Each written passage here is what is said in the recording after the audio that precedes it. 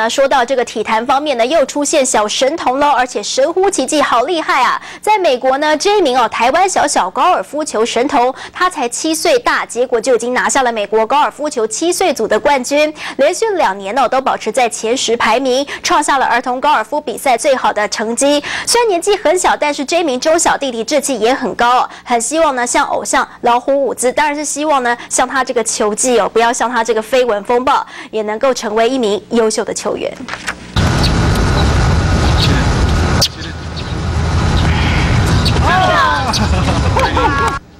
靠着一记漂亮的二十五尺长推杆，钟小弟拿下美国儿童高尔夫球七岁组西区冠军。The winner of the 2009 U.S. Kids Golf Desert Shootout with a three-round total of 99 scores of 34, 32, and 33, all the way from Los Altos, California, Ethan Chung.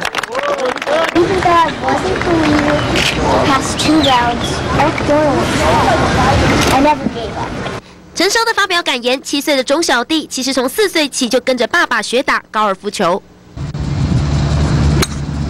小小人走路还摇摇晃晃，不太会背球袋，但一拿起球杆超有架势，也打出人生兴趣。才六岁就上场比赛，有一次参加乔治亚州公开区赛，一路苦战，小小年纪的他不放弃。呃，因为有一些洞蛮难的啦，因为有一些洞你要跨水啊，然后前面也有那个沙坑啊。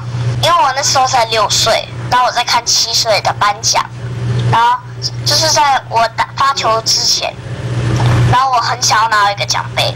虽然最后拿到第二名，钟小弟知名度大开，连续两年在儿童世界冠军赛保持前十排名，成为台湾之光，还登上美国世界日报专访。戏谷最大平面报纸也对他赞誉有加。钟小弟也很喜欢在自己部落格分享打球技巧。最欣赏的球员是哪一个？老虎很他什么很那种精彩的那种推推杆，长推杆都会进。